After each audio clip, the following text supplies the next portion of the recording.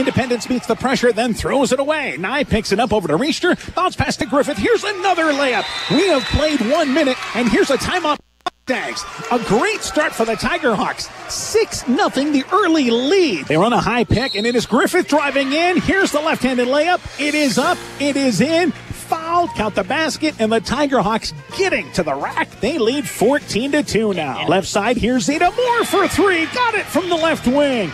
32 to 5, and here's another timeout taken, this time by NFV. It's all going well. They lead by 27 inside 10 seconds to go. Griffith has it right side. Reister wide open right side. Going to take that three right side. Got it again. There's your exclamation point to an unbelievable first half. Are you kidding me?